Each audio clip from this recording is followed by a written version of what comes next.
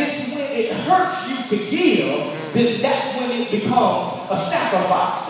And unless we are forced and pushed, sometimes we won't volunteer to make a sacrifice. Because a sacrifice is not easy because it requires us to give up something that we'd rather have for ourselves. Even in your marriage and your relationships and with your children, uh, you can you don't have to make some sacrifices. If you want that marriage to work, it's going to require and demand that you make some sacrifices. And now that you are married, it's no longer me, but it is ours.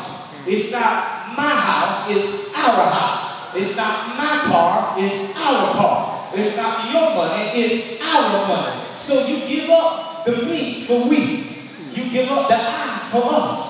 Trying to help somebody this morning because somebody think, well, that's yours and this mine. No, no, no. The Bible says the two shall be one. Amen? So what belongs to me now belongs to my wife. What belongs to you belongs to your spouse. So it requires a sacrifice. And even with your children, you may have to sacrifice now so that they can have something later. Any parents know what I'm talking about this morning?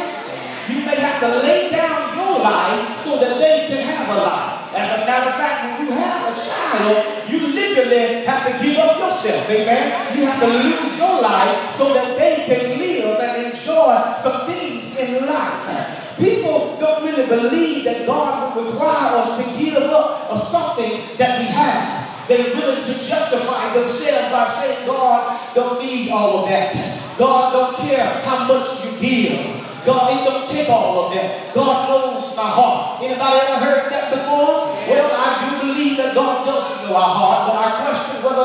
really know our heart. Because the Bible says out of the heart come all manner of evil, amen, is displayed.